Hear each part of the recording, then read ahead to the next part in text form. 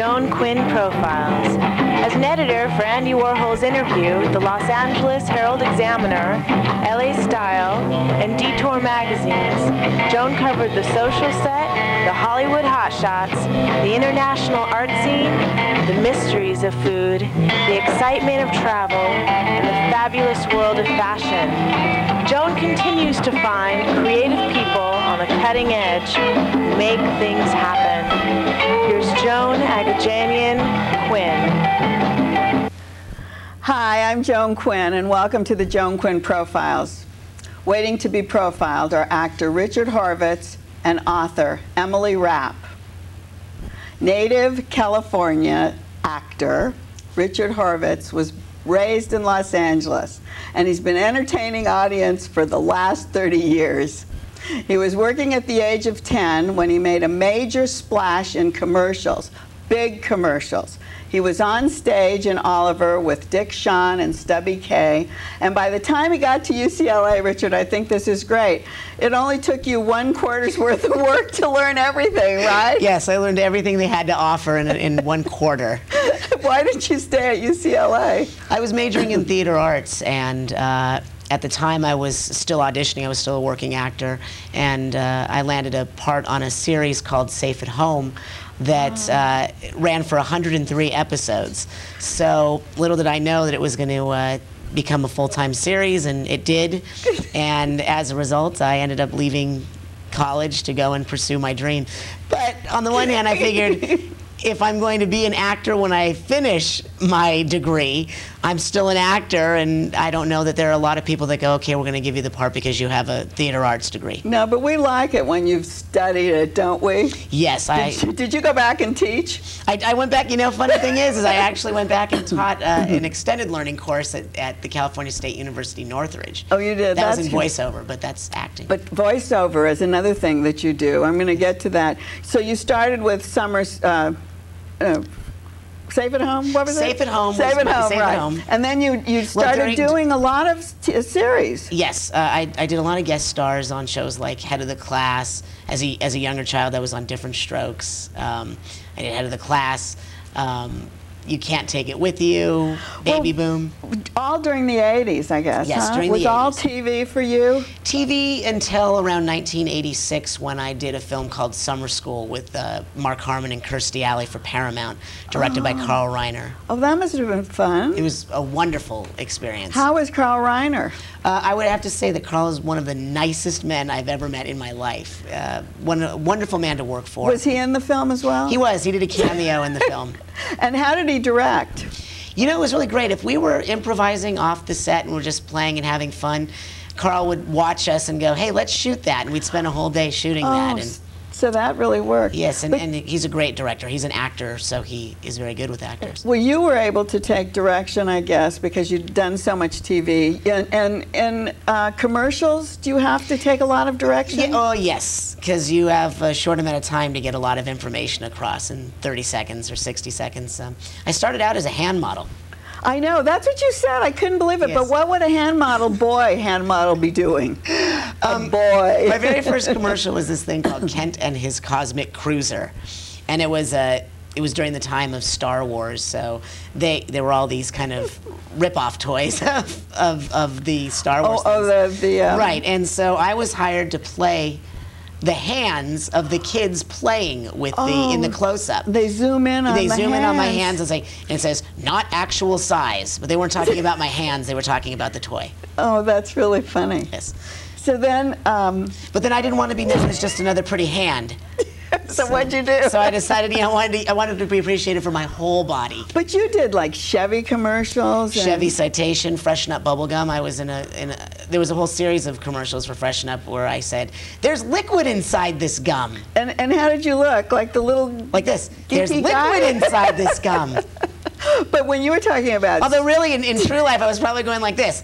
Oh, there's liquid inside this gum. Do they still make that gum? I, I, certainly hope not because I just offended the product. They, they're not paying me anymore, so. I was just going to say, when you were talking about uh, uh, stars and you wanted to be a star known for your whole body, you actually are a comedian, which I didn't realize. I mean, Yes. I knew you were an I, actor. I don't know if the audience realized it either, but I hope they did. but but stars, you were on Stars. The uh, Stars comedy promo, yes. Yeah. Um, very recently, last year, I worked. I work a lot with Fred Willard. Um, Those are so funny. You Yes. act like you're like the geeky guy who comes in, and he's like the straight guy. Um, geeky. Hmm. Define geeky, because Not good? That's kind of a contrast to my my Tom Cruise, Bruce Springsteen Oh, look. excuse me. Did you go in like that? Did Fred let you come in like Tom Cruise? Yeah, I actually. Fred was actually the guy who was. Uh, Kind of the oblivious boss, and I was a programmer in the spots. It was kind of a takeoff on the on the show working. It was kind of a working environment. But then I saw that you were on Jimmy Kimmel Yes. with him, and Yes. that's maybe that's where I thought you were the geeky guy. Uh, the first, the first spot I did with Fred uh, on Jimmy Kimmel, we did a sketch in which um, I was Fred Willard's biggest fan. Oh, that's- And then I come in, and I'm wearing the tuxedo he wore in uh, Best in Show, and Oh, those kind of things. yes. yeah. And then the other one was Fred was the was the co-host. I was the co-host's co-host in the other sketch we did. oh, you were the I was kind of his Ed McMahon. And you did Saturday Night Live. Yes, I did. It. I did it. We did a. Um, with the same group, uh, my friend T. Sean Shannon, who wrote for Saturday Night Live, Oh. wrote a series of uh, short films called uh, Bear City, and I played a bear. Oh, so that wasn't funny? It was very That funny. was very funny. funny. Yes, guy in a bear suit. Come on. So we're Bears getting, are always funny. so we're getting Unless from. you're a rabbit, then bears aren't so funny. were you a rabbit ever? Or a salmon. Not salmon a don't find bears no, very funny. No. no. Were you um, really plugging away at your TV career, or did you think you should Um, do film? You know, I I didn't really have a. I don't know if this is a good or bad thing. I didn't really have any clear direction of where I was going. I just kind of went out on whatever things they were were auditioning. I started out in, in theater really as a child. I did musical theater. I did um, Oliver at the Aquarius Theater. But were you singing and dancing? Were you trained like that? Yes, I was trained as a tap dancer. But who sent you out? Did your mother want you to be an Um, actor? You know, my mom didn't really want me to be an actor mainly because she didn't want to be going out driving me all over Oh, I mean, Hollywood yeah. and taking me out of school, etc. And then one day, this man by the name of Floyd Huddleston, uh, a wonderful songwriter, he wrote uh, the music for the Aristocats for Disney. He had written a, a, a musical that uh, he wanted to put on at the church I was attending as a, as a kid. And he wanted me to play this part. And he was just really a nice guy liked me a lot and said to my mom he has to meet my agent. And that's how it happened Is that right? yeah Oh, so i would like to say i was sitting in schwab's uh, uh, drugstore in a nice tight sweater but that really wasn't no, and Schwab's is gone. yes i know I know. So you had to find some other I had to place. find the other church hall. to be discovered yes the church yeah, i just hung out at church halls i figured you need a nice crowd But your mother wasn't pushing you, and yet No, you made never. all this. You, you really made it as a I- child actor. I knew from the time I was about five years old that I liked to perform. I used to watch um, Flip Wilson and uh, Oh. Tom Jones from England and loved those shows. I loved entertaining and I used to imitate them. I started out doing a lot of imitations as a kid. I was gonna, I was gonna say that because when you do your voiceovers, you Yes. have to use different kind of voices. Is there any um, show business in your family? Yes, my brother is a director. He's a musical Oh, yeah. variety director. He directs the uh, Oscars and the Oh, Emmys and, uh, Does he write music? uh, you know, he's written his own music, but nothing uh, ever published. But mo- mostly directing. Just directing, yeah. He's and what's his name? Louis J. Horvitz. Oh, so we have it in the family. Did your mother push him? No, he pushed himself. He, He pushed himself, None too. of us. I had an uncle and an aunt who were magicians Oh, in Michigan, but no fair, no fair. So you that were might have led to a life in the circus. I don't know, but I, well. You I could do that if I you're a song and dance man. I am a song and dance man. And so you were doing this song and dance at the Whitefire Theater recently. Oh, very recently. I was doing a play called uh, Tiptoes, which was a revival of a Gershwin musical that hadn't been done since, I think it was 1920. It was a 20 sometime, 1920 yeah. sometime. And it was it was a very successful run. Did you tap? I t- in the in the show I didn't tap. It was funny because uh, it was the first time I played an older character in, in the in the musical. I played Uncle Hen. Oh, you didn't And have to. My niece is is uh, Tiptoes. She's the ballerina in the group, and we're actually a vaudeville team. My my partner, uh, played by Kyle Nudo. Um, we um, his name was Al. I'm Uncle Hen. Did he dance? He danced. He oh, so you were too. telling him what to do? So we were a vaudeville team, and you got to see our vaudeville act, which is you were, uh, you've been in a lot of theaters. You've been in the Geffen Theater. The Geffen but- Theater. But, basically drama, right? Um, the Geffen was also a musical. It was funny. I Was went on a musical run. I started out in musical theater, and uh, Ah. I, I didn't really pursue it um, as you know, having grown up in Los Angeles, California. It was mostly about television and film, and. Uh, as I got older, I got to the age where I probably would have gone to New York and pursued wondered, it, yeah. pursued the theater more. But because I started doing that series, Safe at Home, um, I was locked up in that for three years, and at the same time, I did summer school, and from there, I went on to do.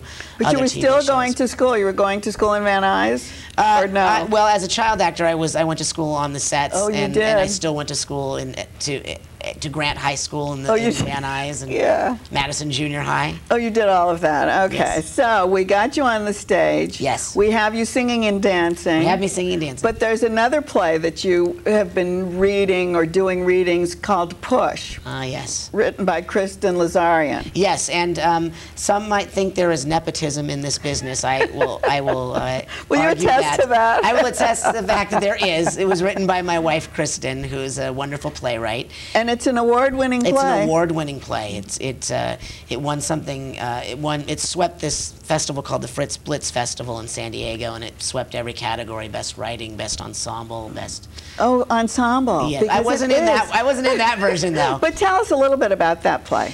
Um, well, it's interesting. It's about a wife who who uh, questions her husband's fidelity, uh, mainly because her own father, she discovers uh, recently, uh, had a may or may not have had a, uh, a girlfriend on the side. So that's what touches it off in the play. That's, what, she's touches it off. thinking. I see. And what she does is she ends up uh, hiring a uh, what's called a uh, Operative. An, an operative. Very good. You operative. saw I love play. that. An operative, which is actually a decoy. He was sent out to try to hit on the husband to see if he will take the bait, and then she reports back to the wife and says, "Your husband is unfaithful." so how did Kristen get this idea?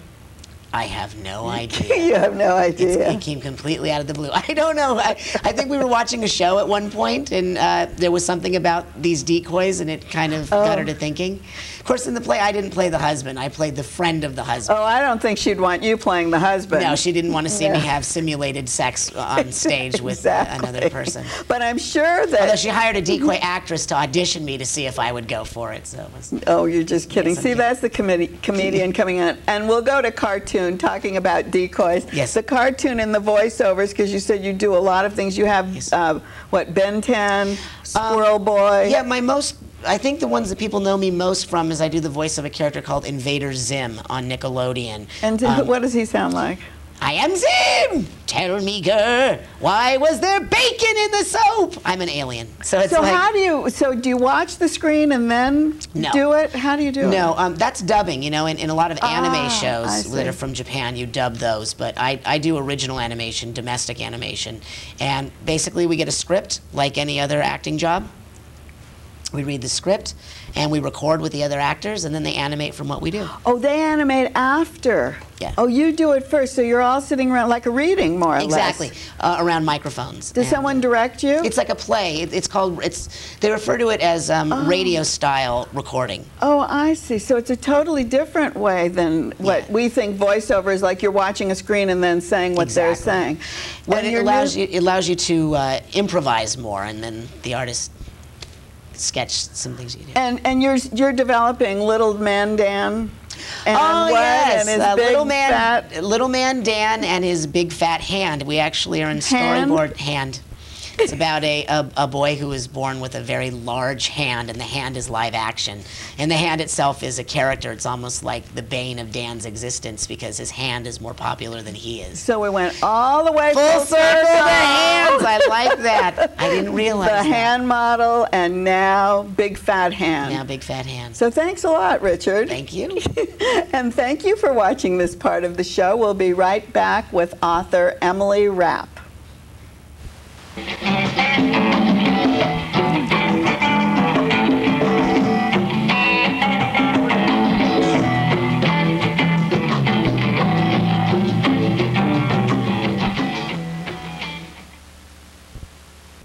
Author Emily Rapp was born in Nebraska and grew up in Wyoming and Colorado. She was educated at Harvard University, St. Olaf College, and the University of Texas at Austin. Emily is a faculty member in the MFA program at Antioch University in Los Angeles, where she lives now. Uh, what do you teach in that program? I teach creative writing to graduate students. So And how- how- nonfiction, fiction, poetry. How hard is that? How hard is the job or how hard do the students work? Both. And how do you teach it to, you know, adult students? Uh, Well, we have wonderful students, and we do. And our program is designed for the non-traditional student, meaning that people who've had careers as actors or lawyers or other Oh. careers often come back to our program and decide they want to be writers. So they come with a whole lifetime of different stories, and we have a really diverse student body as well, which helps. And so, what do you do? You, how do you draw these stories from all these different people, and how do With you force. edit it? um, no, what we do is, you know, we have seminars for them about issues of craft. And the thing about writing is that it can be taught, the craft of writing can be taught. And the most important thing for writers to learn is to just keep doing it and to work, to work hard. So people come with an idea of what they want to write about, and we help them shape the piece into something that they're proud of in the but, end. but what about their command of the English language or their command of writing English? Um, I mean, sentences yeah, and it's a skill. Mm-hmm. descriptions. It is a skill. It's a skill, and that can be taught. That skill can be taught. Oh, it can. Yeah. Ah, so That's why I have a job. Better be. That's what I do. But then, what do you do? Do you rewrite sentences? How do No, you do we it? just, um, you know, we'll you do a mark a paragraph and say this needs to be rewritten. It doesn't make sense, or this is a cliche metaphor. Can you rewrite it? Um, do you teach structure. those? Uh, Yeah. mhm. Um, yeah.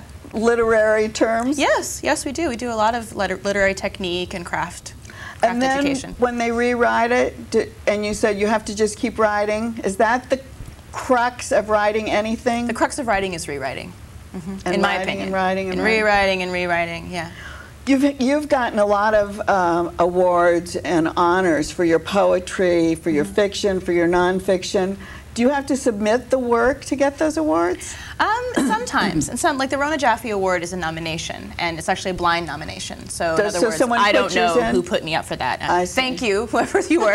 Is that But, right? You yeah, would- do I- they read it on their own, the judges, and they then do, find you? Yes, they do. They do read it. And then when I was chosen for the Philip Roth Award, he actually chose my manuscript out of the ones that were submitted to him in a group. So, you sent it in I to sent a it in to get a fellowship, and then they sent it off to him. And it depends. I mean, I still send submissions to uh, literary magazines at universities, but if it's a bigger magazine, then, then my agent would do that. And then what? Oh, now, but you didn't have an agent at No, all I the did not. time. No, so, no. so before No, you not. were doing it yourself. Yeah, I was doing it myself. And, that's a lot of work. And what do you do? And when you write something, do you think it's good enough to to send it in? Um, usually no. What would some person do if they wanted to have their work recognized? That's a good question. I think to, to give it to someone they respect, um, I have a group of, or a group, of two readers who read for me. And they are honest readers and they're good readers. And So they tell me, you know, this isn't really ready, you should wait, you should change this, and then I send it off after I get their opinion. So those are just people you hire? No, no, they're people I knew from graduate school. People who I developed relationships Oh, so with they- while I was in school. So that's right. not their job. No. Oh, I see. They're No, I don't pay them. No, and they don't pay me. no, I just wondered, Yeah. if, is there a, some kind of uh, position like that where someone could read your work? There is, but I think it's better for writers, and that's what we try to do in my program, is to cultivate Ah. a community of people who will assist others in their work. Oh, I It's see. I important think- to have a community when you're working in I writing. think that's great, right? Because if Mm-hmm. You're in a class together, then you feel comfortable Yeah. because you've all been criticized by the same person. yes, me. A lot of, a lot of your writings come out of a biblical background Yes. And your family background. Mm-hmm. Tell us a little bit about that. My dad is a Lutheran pastor, still is, has been a pastor for almost 40 years, I think, 40 years. And so I grew up in a, in a traditional Lutheran household, but it wasn't like uh, in Footloose where no one could dance or drink or anything. It was very, very wonderful um, upbringing that I had, steeped in things like moral values and family traditions and religious ritual. And then, but So- and then, even though you were brought up in this background, you went on to study in a lot of I did. Bible courses I and different did. things in Dublin. What? Tell us a little bit about that. Yeah. Um, well, I always tell my students about the Bible is that if you really want a good story, read the Bible because there's everything in there. There's adultery, there's lust, there's people being smited, there's you know plagues, there's all kinds of drama, subtext and dialogue. And so I've always been really interested in Bible stories in the way that they are prototypes for the stories we tell today. So in, in Dublin, for example, I did Hebrew and Biblical Studies as an exchange student. So that's what I was doing So there. you studied Hebrew? I don't know how much I studied. I, I, I mean- studied maybe is a loose term for what I did in Dublin, but I did. I was in the Hebrew and Biblical Studies department. So But, but it, was that to study how to speak Hebrew? No, or it was the biblical studies? Hebrew. Biblical I see, Hebrew, I that's see, right, I to read biblical Hebrew. But those were all precursors to your memoir, Yes. Poster Child. Mm-hmm. And tell us a little bit about how Poster Child came about. Okay. Um, I wrote uh, an essay when I was in Ah. graduate school about growing up with a disability. I have an artificial leg, and I had been writing some really bad stories about disabled characters, and they were so bad. And I thought, you know, maybe I should write about my own experience. And I tried that, and I workshopped it in front of uh, like 25 people. And I was mortified. I was so terrified, and it was such a great experience. I got such good feedback, and I thought, you know what? This is the book I'm going to write first. I'm going to make art out of this experience. Why were they so bad the way you Oh. explained them? I mean, because your book is wrenching to read. I mm-hmm. think it's really difficult to Yeah. read, and that's what you wanted, I guess. Well, I want people to have an emotional experience. I did, and it was So, honest. yeah, and to be honest, I think because when I was writing fiction with people with disabilities as characters, I was too removed from the situation. And But so you now I'm speaking the- in the I voice. Yeah, but you had the situation, so how could you be removed? Well, I think when you write fiction, there's a, another level of distance you have to establish in order to make contact with a character that's not you. And you have to do the same similar thing in writing memoir, even, but I think it's different in fiction. When when I started reading, I wondered if there were other books like this, and I think there are other books some, like yours. yeah. And what were they, and how did they address these issues? Well, I think most, actually, most books about people with disabilities fall into two categories. There's the pity category, which is like, oh, my miserable life. And then there's the sort of super achieving category that's usually saved for people who do things like sports or are sports oh, right. stars. There's not a Ah. lot in between those, those two level, those two ends of the spectrum. So I was hoping that this book would offer an honest experience that would appeal to people who don't just have disabilities because the issues things like body acceptance the quest for perfection those are universal themes and they're especially you know acute for women in this, in this culture particularly Um, you were born with a congenital so defect That's right. defect, and if that happened today, would they amputate your leg? they would still yes They still would. They still would. So tell us a little bit about that because you had to learn all about this, but you didn't Yeah. get you didn't get to learn about it till you were already grown up. Well, I didn't want to know about it when I was growing up. I was just like, I didn't want to talk about the leg. I didn't want to think about it, which is documented in the book. Sort of the, the tyranny of adolescence, where you just like, I just want to be like everybody else, you know. But so you always you, you had a wooden leg when you yeah, started I did. walking. So uncool. Yeah, especially as a, a teenager, it was just like just morbidly uncool. Um, yeah, I've always walked with an artificial leg or brace. It's the only body I've ever known, and so that actually is an advantage in many ways, as you can imagine. I did learn a lot about my defect, which is called proximal focal femoral deficiency, which Is in it? real language just means that one leg is shorter than the other and can't be corrected in any other way besides amputation. Does it happen a lot? It doesn't happen a lot, although I have a really close friend who's my age and has a, a similar defect. And I have met people through the process of writing this book and going on book tour who have the same defect. So one of the things that you had to lear- learn about, and I think this whole chapter, is um, limb technology. I mean, Oh, Yeah. it's really interesting. It is really interesting, especially for me. It was a struggle because I can't even like program my iPod. So I was like, how am I going to learn about mechanical knees and you know computerized knees? But it is amazing. I mean. An important thing to note, though, is it's off limits for many, many people with disabilities because it's just so expensive. I mean, so Oh, much of these technological advances are just really expensive. So is that what, what the athletes would get? They would, right? And a lot of the athletes get um, they get given legs. In other words, the so that you can yes, use, yeah. so you can show, test it or something. Test it. Yeah. I see. I see. So- So, so you wrote the book so that it would be kind of in the middle. Yeah. Yeah, and I hoped it would be a piece of art. You know, I wanted to make art out of my experience. So I wanted it to be beautifully, beautiful to read and beautiful language. And as you as you were writing and as you were growing up, you you got a Fulbright. I did. And you went to Ah! Korea. I did. I went to Korea. But that was a, seemed like a very painful It was, experience. it was one of those things where it's a blessing and a curse at the same time. so I- tell us about it. I went to Korea. I was 21, and I had never really dealt with having a disability in a very real way. And I got there, and I couldn't speak the language. Oh. I felt totally out of place, and I just, I just decided, I just had a kind of a meltdown. In other words, And I thought, you know what, I've got to get a handle on these, these issues. So I flew home and that's when I first started thinking about writing this book. I was like, what happened to me over there? Like, I really had, there's a dissonance between how I feel about myself and how I present myself in the world. Tell us something. Tell us one of those situations when you fell down. Right. So because when I got to Korea, is, you can read it in the book, but I think it's. I'd like to hear yeah, it from sure. your mouth. So when I got to Korea, it was the summer, and it's very hot and humid in, in South Korea in the summer. And I had an hydraulic prosthesis, which I did not take care of. I just like would throw it in a bag and throw it off at night, and I was just like, whatever. Well, the hydraulics were heat sensitive, and it was so hot, and I was walking around trying to find my way, and it just like, like the liquid just exploded, or something happened. I don't know, and it fell apart. So I literally leg fell. fell apart? Well, it didn't like fall into pieces, But but, I mean, it I broke? fell down Uh-huh. And in a puddle of oil, of course, wearing a white dress, of course. so, you know, I'm sitting there thinking, and I, I just felt like, what am I going to do? And I had to, this, there was a man selling um, sort of a collection of items in a little stand, and I was just like, help, you know, sort of sat there, and he came out and helped me, and he found a little Allen wrench, and he tightened the hydraulics. It was Did- such did an amazing. Oh yeah, he was like running out and helping me, and he was wonderful. I mean, So he tightened it. Yeah, he, he wasn't found- afraid.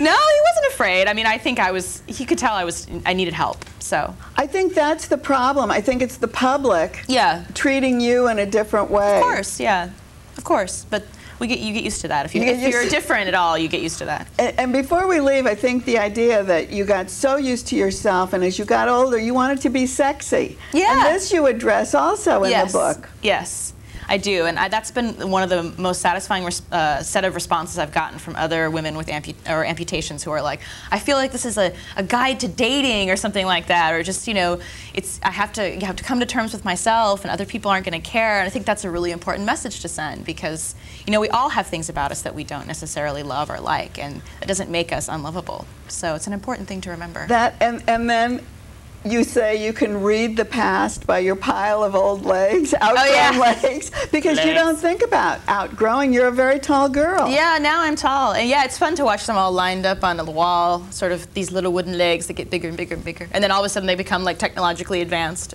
like when I was in uh, college. Do you have them all? I do. My parents have them. Yeah, they have them in a box. So I know, isn't that funny? And my mom, my mom likes to get them out. And when I was doing research for the book, it was really interesting to look at them because they had stains, or there'd be like a, like a hole. Once my brother whacked me with a croquet mallet, there was like a big hole, and she's like, "Remember that?" You know, I fell out of a tree in one of them, and you can see like there's a little grass stain on the side. I mean, it's very interesting to have these like physical touchstones of your history right in front of you. It's pretty amazing. So now I see why you wrote the book. I Yeah. think it's a really Thank you. good. It was good for you probably, Yeah, and it it's good was. for other people. It's I pe- hope so. for people who don't have those problems Exactly, and to understand. Thank you. Thank you. and thank you for watching the Joan Quinn Profiles. Keep writing to 777 South Figueroa, 44th floor, Los Angeles 90017. Bye.